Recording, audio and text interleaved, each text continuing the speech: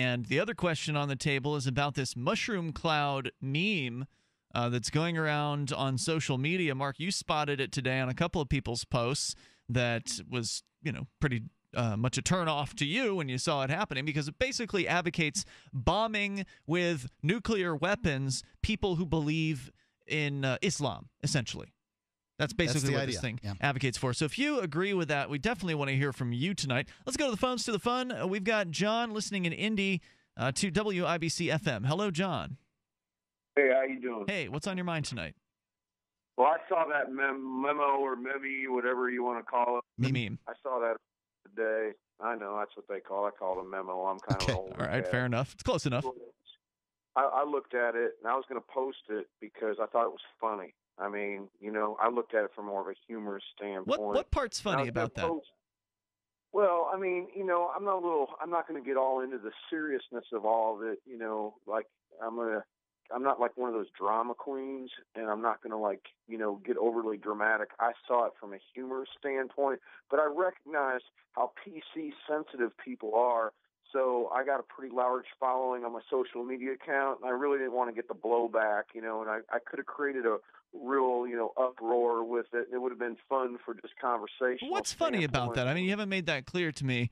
Uh, I mean, what is Well, funny well, about nuking a place?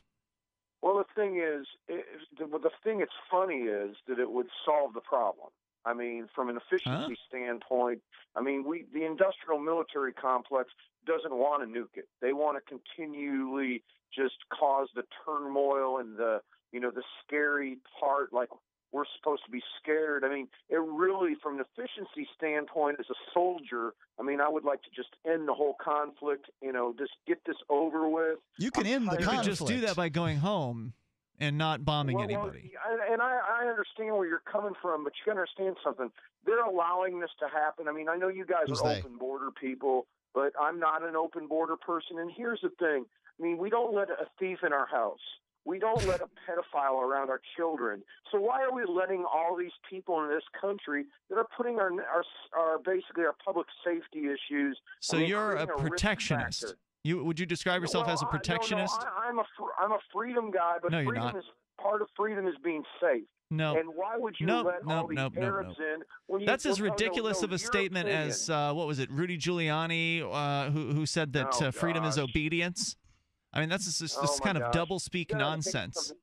Freedom is obedience for your nation, for your people. You have a responsibility. No, responsibility. that's not what freedom is, dude. How this respons- How is that Oh, responsibility well, created? you- You're going at you're looking at it from a global perspective, and you're taking. No, I'm looking at it from an individual you're perspective, sir. You're inviting, you're inviting the, the the problem in, and then you're complaining about the problem. Well, th- hold on. Uh, like one of these No, the problem's the queens. State, and you put it on- advocate for the state. That's the problem. No, I don't advocate for the state. Sure, you do. I You just advocated for closed borders. What are you going to do? Close it yourself? Well, you got to understand something.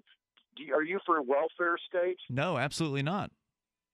Well, what about all? I'm for no state, dude. got- well, I know, but you got to understand something. You've got all these poor people coming into our country and taking our jobs, and You don't own your job. Situation where people You are a welfare. protectionist. Just admit it.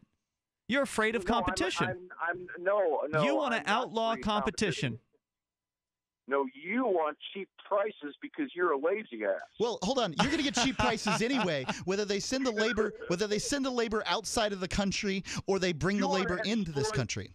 You want to exploit labor for your own personal benefit. Exploit I don't know what And you exploit want- and means. You want to put other people on welfare, and you want someone else to pay for it. No, there's no evidence for any of those claims. Right. I don't. Oh my gosh! I mean, we've got such a we've got how many people on welfare and disability? We're giving disability out. We're giving I don't know who drugs we is. out, and then um, we're we're, give, we're giving Medicare. The Me- for United drug States addicts. government's doing just fine handing out your tax dollars to those people. Yes.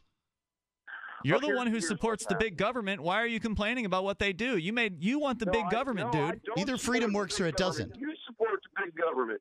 You want people to be on welfare that No, don't have sir. jobs. You just asked me. No, no, no, no. You asked me if I supported welfare. I told you I did not. So you can't keep claiming that I support welfare because I'm opposed to all forms of welfare, including military welfare. You want your people to starve. Huh? How are people going to starve?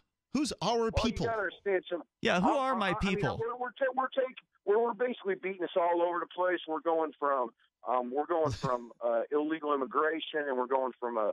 a, a now you just told me that my people are going to starve. I don't really understand Right. how I- anyone's going to starve when we have good, hardworking immigrants here picking fruit and vegetables for us. I know, but you got people that are. We've got. We, we're printing money. We're. I'm not we're printing any money, sir. I don't know if you you, you The should not probably not. You should probably not. uh, you should probably not admit to counterfeiting printing on national money. radio, the sir.